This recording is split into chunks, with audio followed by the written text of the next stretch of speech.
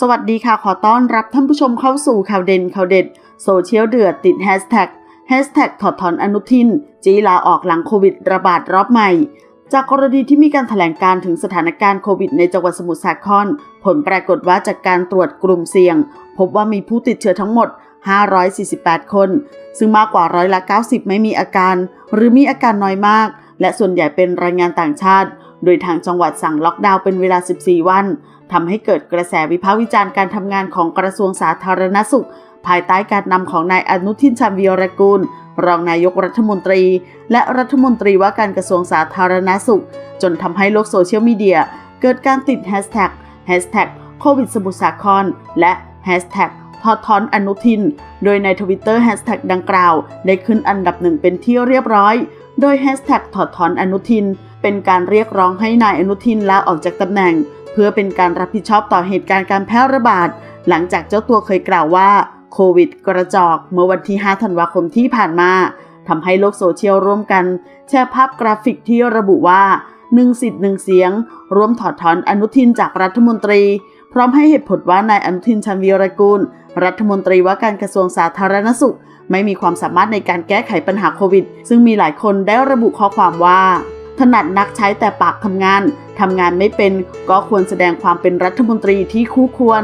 คอมเมนต์ถัดมาบอกว่า หน้ากากก็ต้องซื้อเอง ขาดแคลนเพราะถูกกักตุนราคาแพงจนคนเงินเดือนแค่หมื่นห้าจะซื้อแบบใช้แล้วทิ้ง เพื่อมาป้องกันตัวเอง ไว้เหรอ ใครทำงานแบบไม่มีความสามารถก็ควรไป คอมเมนต์ถัดมาบอกว่า อวดเก่งอวดดี แต่งานไม่เคยทำออกมาดี พอเรื่องแดงก็เก่งแต่นั่งบีบน้ำตา หมดยุคของคนแบบนี้แล้วค่ะ มาร่วมกันลงชื่อถอดถอนเขากัน คอมเมนต์ถัดมาบอกว่าท่านไม่มีความรู้ขาดความเข้าใจในทุกรายละเอียดโดยสิ้นเชิง วันนี้เราควรหมดความน่าเชื่อถือในตัวท่านได้หรือไม่ วิสัยทัศน์ผู้นำทางสาธารณสุขเป็นศูนย์ค่ะ ปล่อยให้สถานการณ์ กลับมาอยู่ในจุดเสี่ยง วนลูป ตรวจฟรี วัคซีนฟรี เท่ากับเลิกหวังแฮชแท็กขอบคุณค่ะ คอมเมนต์ถัดมาบอกว่า ถ้ามีความสำนึกผิด จะรู้ว่าตัวคุณต้องรับผิดชอบกับสิ่งที่เกิดขึ้น กับโรคที่คุณบอกว่ากระจอก คุณควรแสดงความรับผิดชอบโดยการลาออกไปซะ แล้วให้คนที่เป็นแพทย์ หรือคนที่มีความรู้ความสามารถในเรื่องสาธารณสุขจริง ๆ ได้เข้ามาดูแลรับตำแหน่งนี้ ยอมรับความจริงเถอะว่า คุณไม่มีความรู้อะไรเลย ในขณะที่นายศรีสุวรรณจันยา เลขาธิการสมาคมองค์การพิทักษ์รัฐธรรมนูญไทย ได้โพสต์ข้อความผ่านทางเฟซบุ๊กระบุว่า